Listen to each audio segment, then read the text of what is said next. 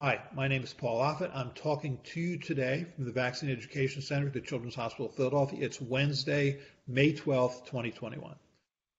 So, probably uh, a question that's come up recently is what's the story with blood clots and these COVID 19 vaccines?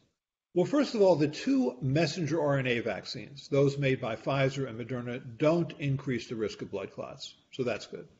But the more recent vaccine, the so-called Johnson & Johnson vaccine, which is a replication defective um, adenovirus vector vaccine, um, does appear to be a rare cause of blood clots, including serious blood clots. And by serious blood clots, I mean a blood clot of the brain that has the name cerebral venous sinus thrombosis or CVST.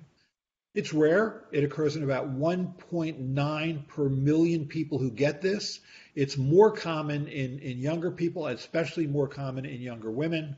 Um, so that, that is, is truly a, a real uh, but rare side effect.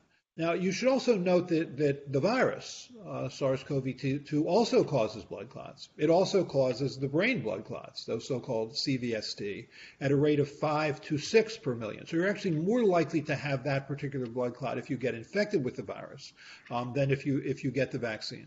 But again, it, it is it is understandable how a, a, young, especially a young woman, could reasonably uh, say that I really would prefer the mRNA vaccines because they don't have this rare side effect. Thank you.